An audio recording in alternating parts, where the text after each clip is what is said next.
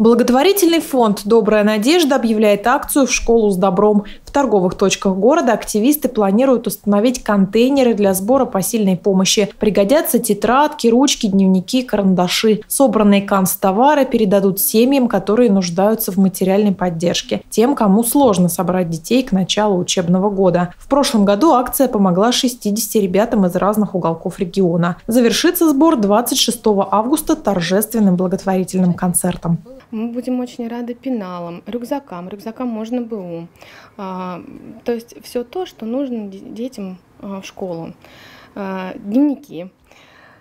Э, и, конечно, если вдруг у э, граждан будет э, возможность принести школьную форму, пусть БУ. То есть дети вырастают из школьной формы, а она не так сильно изнашивается, естественно, то мы с радостью примем такую помощь.